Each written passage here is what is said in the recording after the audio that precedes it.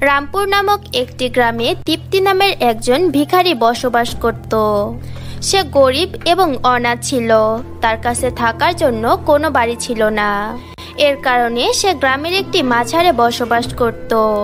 দীপ্তি দেখতে সুন্দর ছিল না। সে দেখতে অনেক কালো ছিল। এর কারণে সবাই তার সঙ্গে খুব বাজে ব্যবহার করত। কেউ তার সঙ্গে ভালো ব্যবহার করত না। ম্যাডাম, আমাকে কিছু টাকা দিন। আমি অনেক বিপদে আছি। অনেক দিন ধরে কিছুই খাইনি। দয়া করে আমাকে কিছু টাকা দিন। খোদা আপনার ভালো করবে। যা এখান থেকে তুই তো প্রতিদিনই এমনটা বলিস। কারও বাড়িতে কাজ কেন করিস না?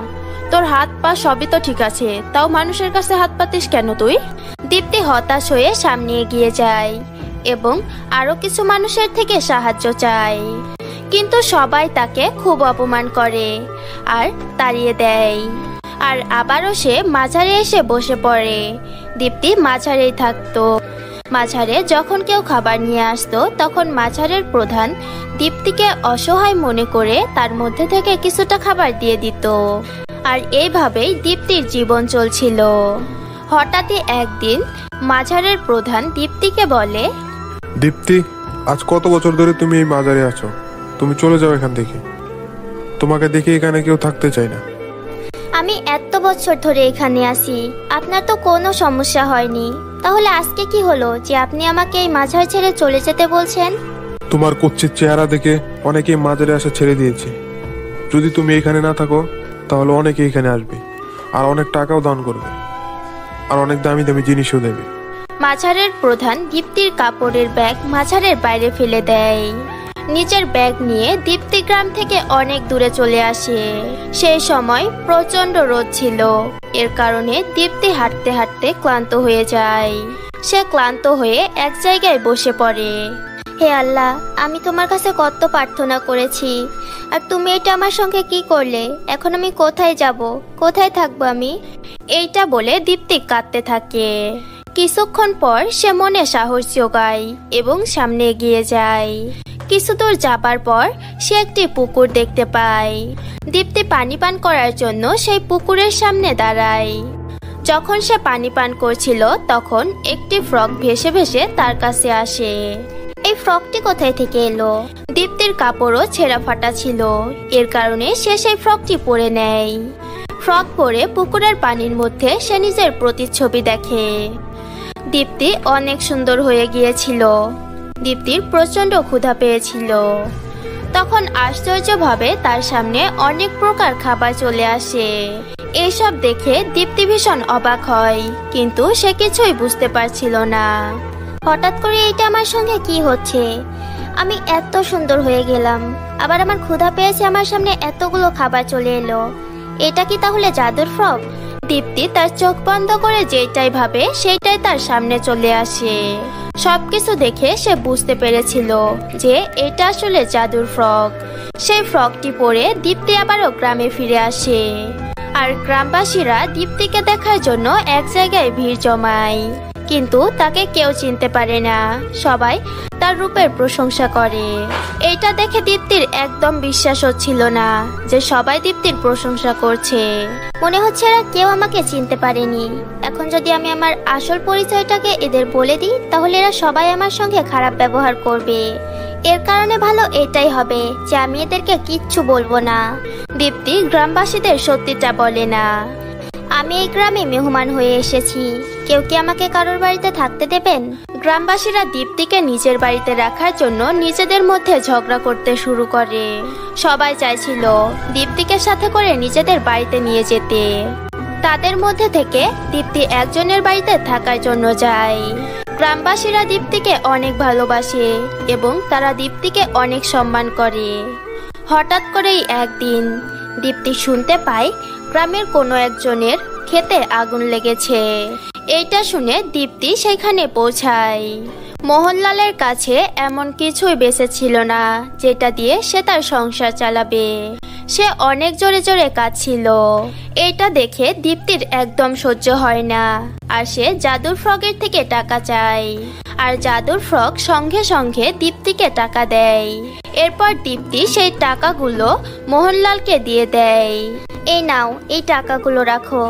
এই টাকাগুলো দিয়ে তোমার অনেক সমস্যার সমাধান হবে। টাকাগুলো পেয়ে মোহনলাল দীপ্তিকে ধন্যবাদ জানায়। আল্লাহ তোমার ভালো করুক মা। তোমার জীবনে যেন কোনো কিছুর কমতি না হয়। তুমি তো আমাকে চেনেও না।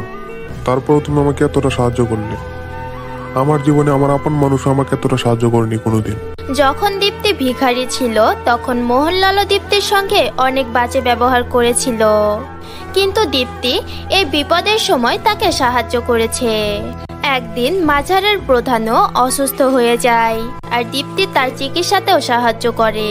এভাবে দীপ্তি গ্রামের সকল মানুষকে সাহায্য করে, যারা এক সময় দীপ্তির সঙ্গে অনেক বাজে ব্যবহার করেছিল। দীপ্তি তাদেরকেও সাহায্য করত আর এই সব কিছু জাদুর ফ্রগের সাহায্যেই হচ্ছিল। গ্রামের সবাই দীপ্তির খুব প্রশংসা করতে শুরু করে। সবাই তো তাকে ফেরেস্তা মনে করত। কখনো যদি গ্রামবাসীদের কোনো সমস্যা হতো, তাহলে সে দীপ্তির কাছে চলে যেত। আর দীপ্তি জাদুর ফ্রকের সাহায্যে তাড়াতাড়ি তাদেরকে সাহায্য করত। সেই গ্রামে বিবেক নামের একটি ছেলে বসবাস করত। আর সে গ্রামের জমিদারের ছেলে ছিল। যখন সে গ্রামবাসীদের মুখ থেকে দীপ্তির এত প্রশংসা শোনে, তখন সে দীপ্তিকে নিজের বাড়িতে ডাকে। দীপ্তির ভালো ব্যবহার এবং সৌন্দর্যতা দেখে বিবেক তার উপর মোহিত হয়ে যায়। আর সে ভাবে মনে হচ্ছে এটাই সেই মেয়ে যার সাথে আমার বিয়ে করা উচিত। আজকের সময় এত দয়ালু আর এত সৎ মেয়ে পাওয়া সত্যিই ভাগ্যের ব্যাপার। কিছুদিন পর্যন্ত দীপ্তি এবং বিবেকের মধ্যে কথাবার্তা চলে। এরপর একদিন বিবেক দীপ্তিকে বলে তুমি কি আমাকে বিয়ে করবে? এইটা শুনে দীপ্তি ভীষণ অবাক হয়ে যায়। আর সে নিজের কানকে বিশ্বাস করতে পারে না। যে গ্রামের জমিদারের ছেলে তাকে বিয়ে করতে চায়। আপনার এই প্রশ্নের উত্তর আমি কালকে দেব। এটা বলে দীপ্তি সেইখান থেকে চলে যায়। পরের দিন দীপ্তি গ্রামের জমিদারের বাড়িতে যায়। আর জমিদারের আশেপাশে অনেক মানুষ বসেছিল। আমি আপনাদের সবাইকে একটি সত্যি কথা বলতে চাই। হ্যাঁ অবশ্যই। বলো, তুমি কি বলতে চাও?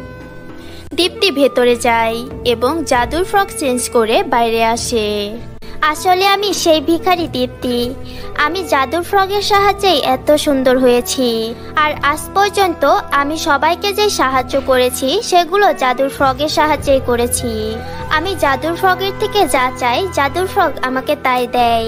দীপ্তি জাদুর ফ্রগের সেই সকল ঘটনা গ্রামবাসীদের বলে দেয়। এরপর বিবেককে বলে তুমি কি এখনও আমাকে বিয়ে করতে চাও? না, তাই না? কোনো ব্যাপার না, এতে আমার কোনো দুঃখ নেই। তুমি কীভাবে এটা ভাবলে যে আমি তোমার সৌন্দর্যটাকে ভালোবাসেছি? এমনটা একদম নয়। জাদুর ফ্রক পাওয়ার পর তুমি এই গ্রামের মানুষের যে সাহায্য করেছ তার কেউ করবে না। যারা তোমাকে ভালো মন্দ কথা শোনাতো, তুমি তাদেরকেই সাহায্য করেছ। এই যুগে তোমার মতো শত ভালো মেয়ে পাওয়া সত্যিই ভাগ্যের ব্যাপার। আর তোমাকে কে না বিয়ে করতে চাইবে? দীপ্তিকে দেখে গ্রামবাসীরা নিজেদের মাথা নিচু করে, আর তারা সবাই দীপ্তির কাছ থেকে ক্ষমা চায়, কারণ তারা নিজেদের ভুলটা বুঝতে পেরেছিল। আর বিবেক দীপ্তির সঙ্গে বিয়ে করার সিদ্ধান্ত নেয়, আর সে তাদের বিয়ের দিনটাও ঠিক করে ফেলে, আর কিছুদিনের মধ্যে তাদের বিয়ে হয়ে যায়। দীপ্তি নিজের সাথে করে সেই জাদুর ফ্রককে পুকুরের কাছে নিয়ে আসে, আর বলে তোমাকে অনেক ধন্যবাদ, জাদুর ফ্রক। এখন তুমি মুক্ত। এটা বলে দীপ্তি সেই জাদুর ফ্রকটাকে পুকুরে ছেড়ে দেয়। আর বিবেকের সঙ্গে হাসি খুশিতে নিজের জীবন কাটায়। তো বন্ধুরা, কেমন লাগল এই গল্পটি কমেন্ট করে জানাবে। ভিডিওটি ভালো লাগলে একটি লাইক করবে। আর তোমরা যদি আমাদের চ্যানেলে নতুন হও, তাহলে অবশ্যই আমাদের চ্যানেলটিকে সাবস্ক্রাইব করে পাশে থাকা বেল আইকনটি ক্লিক করে অল করে দিবে। যেন আমাদের নতুন নতুন ভিডিও তোমরা সবার আগে পেয়ে যাও।